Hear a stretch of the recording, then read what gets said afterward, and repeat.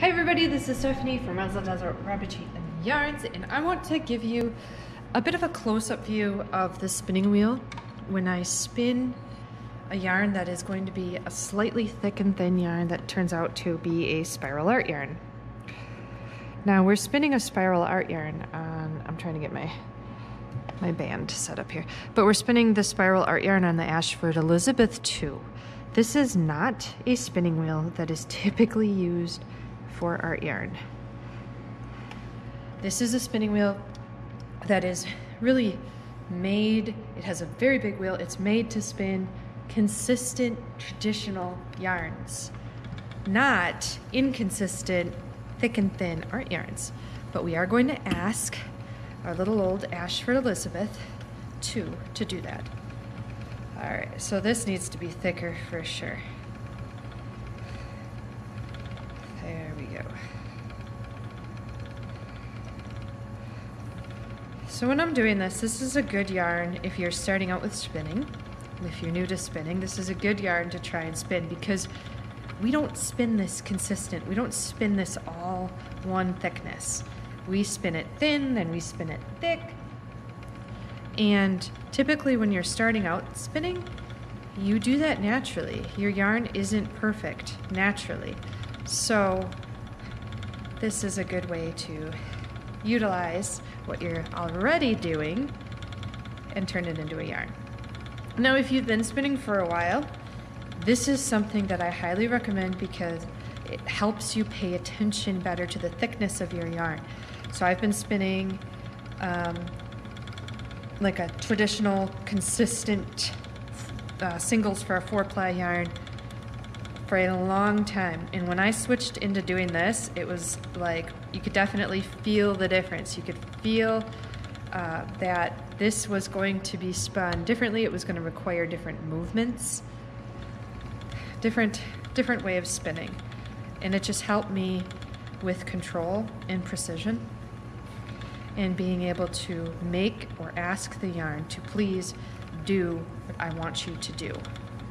Ask, you know, have the fiber do that. That's bigger than I wanted. Whoops, that's what happens when I talk. So, we're spinning along. And this is actually a little bit over an ounce. I used the blending board for the first time to create this fiber right here. I have never ever used a blending board um, for anything, I don't think. I don't know, but I don't think I've used a blending board at all. And so, and I didn't really, I had like five minutes of watching two different videos on YouTube. That's what I did for my instruction this morning. And then I was like, okay, I'm just going to sit down and do it. And then this is the result, which I don't know if this is, I, don't think this is a very good result. But then again, I've got to look into this whole blending board business. There's some learning that needs to happen. So, there's a lot of different ways you can spin a yarn thick and thin. This is just one particular way. You want to keep moving this on the hooks so it loads on your bobbin evenly.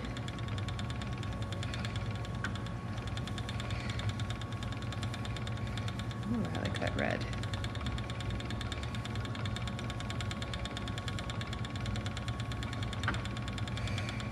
Let's see. So my spinning wheel, you can hear it. That means I need to oil this. This is this is a bit out of balance. Needs to be oiled for sure.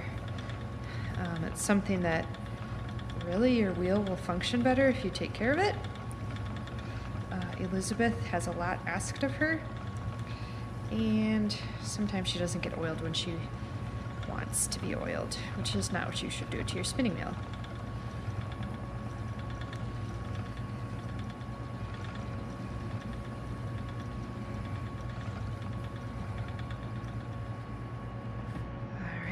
it over. Another one. So as you can see, based on the time of this video, this doesn't take long to do this. This is not something Um, when you compare this to spinning a traditional yarn that is the same consistency, uh, that takes a bit longer, especially the thinner you spin the yarn, the longer it takes to spin the fiber because um, that was a terrible join. That was too thin as well. It just takes longer to spin fiber thin and consistent because you really stretch these fibers out.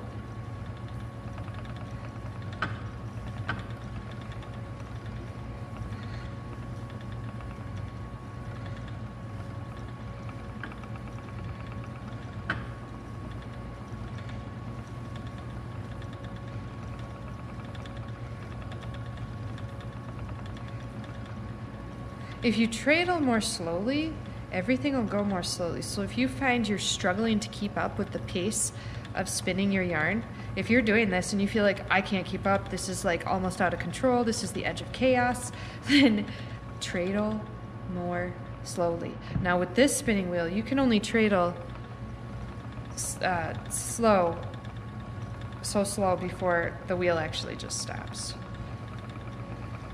This is not a wheel that was designed for super slow treadling, so hopefully you have a wheel that is more appropriate to this art yarn than this one. But it still can be done.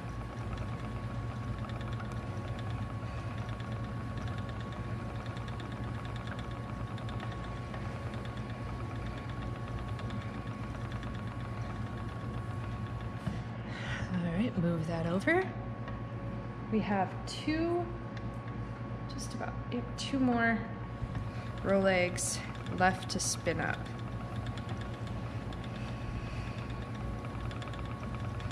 There's a lot of pictures of this yarn and different things on Pinterest. So you can head on over to Pinterest, find that. It's pretty cool. If you want this fiber, this is available. Go to razzledazzlerabbitry.com. There's only three of the spinner surprise boxes of fiber left for the month of January. Otherwise, after that, they'll be sold out.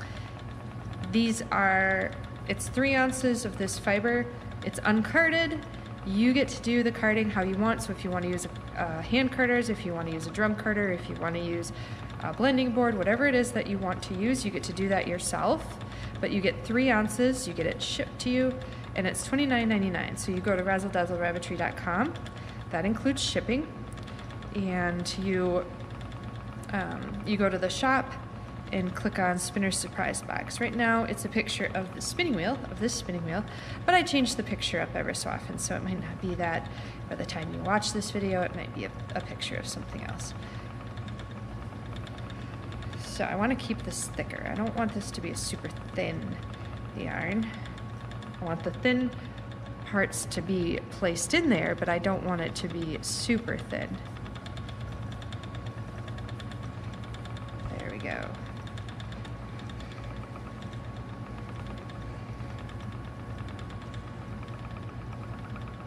There's a nice thicker section. Another one.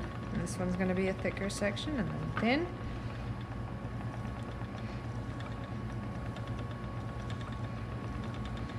Nice bit of red and some blue. I could adjust the tension on this because this is not drawing this in very well. I'm finding I have to pull everything back when I have to do that. I don't like that. I want it to be a nice and steady flow. I don't want to have to constantly tug back. I don't want it to pull in. If it keeps pulling you in, if you have to keep fighting with it, then your tension is too high on your spinning wheel. If you're uh, constantly have to do what I'm doing, where you're constantly like letting the twist travel back, um, and you're you know you're pulling, then this uh, is not enough tension, so I just adjusted the tension a little bit. Okay, there we go. You can change the way, you can hear the way it sounds different when I adjusted the tension. And I don't have to uh, pull back nearly as vigorously with the tension adjusted. That's awesome. That's the way we like it.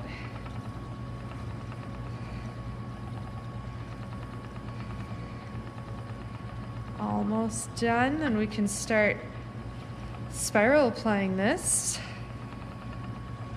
To do that, we are going to change the bobbin out. We're going to put a new bobbin in here If you only have one bobbin, you just use a ball winder, create a center pull ball, and then you can um, begin plying that way. So typically I've just been switching out the bobbins. On this spinning wheel, it's not always easy to switch out the bobbins. This is a single treadle. Uh, I have it set up as a single treadle, single drive right now. You can do double treadle, you can do double drive on this, but that's just not how I have it set up. There we are, approaching the end. And then the fun part plying begins. Awesome. All right, we're gonna loosen this up a little bit. And switch out this bobbin.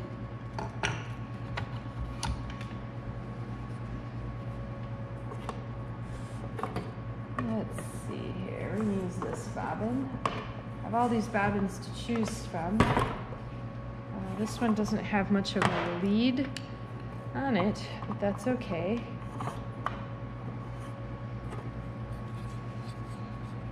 The leader line is this. Doesn't have much on it. Whenever the lead line is short, that's all, that's all right, your leader line. Um, it makes it a bit more difficult because you don't have as much time, you don't have as much slack to get it where you want it.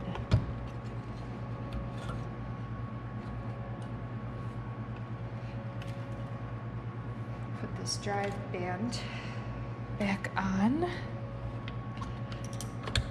There we are. Set this up. Look at that. What a disaster. That's gonna make problems. I'm actually gonna set this down here. Take my thread. So this thread comes with your January Spinner Surprise fiber as well. If you're new to spinning, I encourage you to try that out try the spinner surprise box out because uh, there's videos with all of it. You get one of, you get at least one video, usually more, and you get to sit and talk and spin and learn how to spin together. So I highly encourage you to try that out. It's just $29.99 a month. Shipping is included. So this is spiral plying. You see how this the yarn is turning into a spiral. How I'm holding it, I'm holding both the, the single and the thread. So this is going to wind up fast on that bobbin. So I have to pay attention to my treadling speed. I have to pay attention to how fast this is winding up. Right now I know I need to change. So let's do some things. So if I really let this go. You can really get a lot of twist. If I do it fast, the twist is not as much. I like to do a nice steady twist. Now, the bigger sections are kind of fun because they make nice spirals. And this is this is what spiral plying is. Just an awesome yarn, an awesome art yarn. This is when you create a single like this one, the thick and thin, when you spiral ply it, it is, I cannot express this enough, it is absolutely beautiful. So if you're new to yarn, uh, spinning yarn, this is a perfect yarn to make because it just absolutely is, it lends itself to um, the way most beginners yarn naturally looks.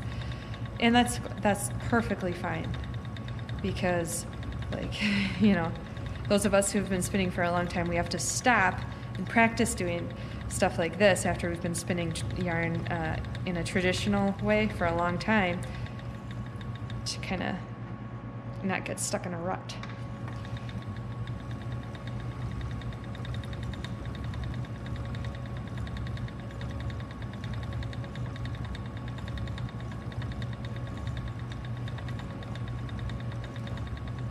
This is a rainbow color thread and you know, the, de- the yarn is called 1980s Wild Denim because when I look at it, it just reminds me a pair of jeans from the 80s. I was young during the 80s, but I was still there.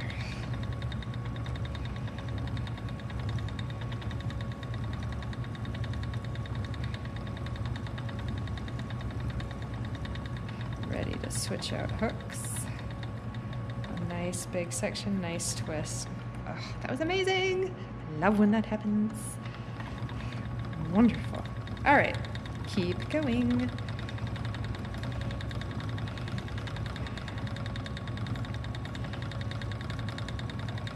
It's just so cool when you watch this happening and you watch, you know, the the actual spiral ply being created. It's just really a cool thing to watch. And of course, when you're plying, your yarn, your single, the single of yarn, is twisting in the opposite direction of what you spun it. So if I was spinning, and when I was spinning, my wheel was turning clockwise. My wheel was spinning um, like a clock, like the hands of the clock. Well, now that I'm plying, it's like the clock is going in reverse. So that's what plying is. You typically spin it the opposite direction. You ply it the opposite direction of how you spun it.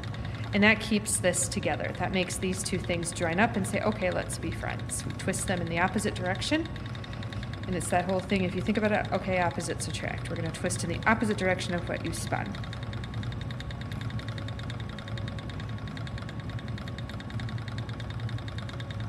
It looks like there's so much of this single left on that bobbin down there. My goodness.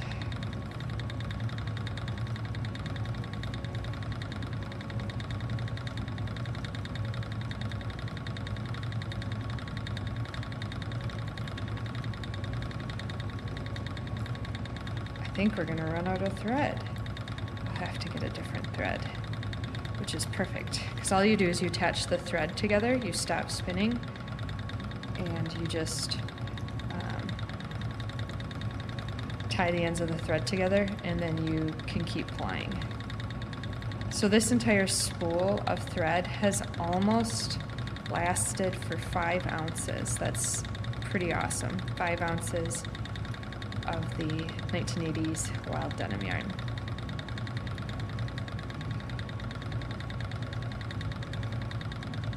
Oh, we're so close, but we're just not gonna make it.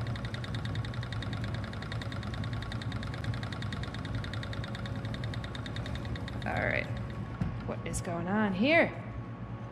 This needs to get it together. That has to go down there. Stuck on something. It's okay. Pull it through. All good. See, I hardly have any thread left.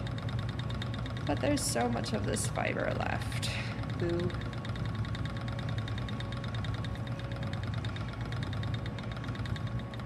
So I really want to be careful. We're almost towards the end. There we go. So this is the end. Okay, I'm going to actually take this and just wrap this around while this is loose. See that? That's that little thread is loose. Now I need another one of these because I'm not done yet. Let's go get it.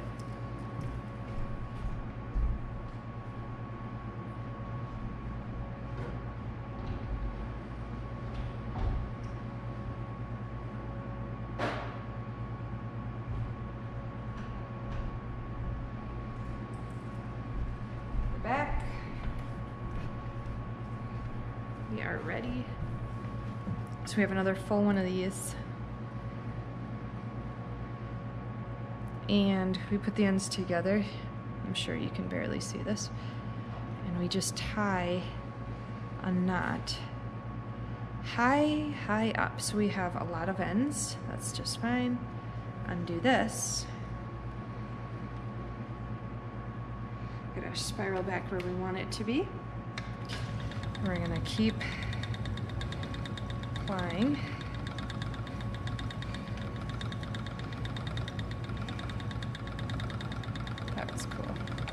We need some more tension. So we up our tension.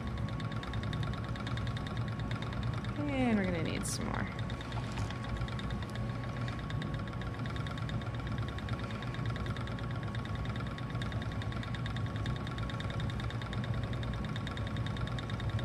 See, I hold this very loosely in my hands and it bumps up against my fingers and it comes from the bottom just rolls nicely from the bottom. That helps keep this thread stable in my hand. That's the way I do it. There's a lot of different ways you can do it. If you want, you don't even have to hold this thread.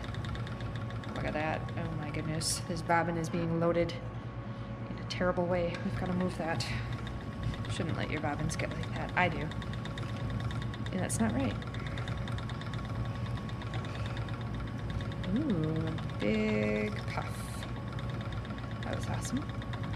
Another cool spiral.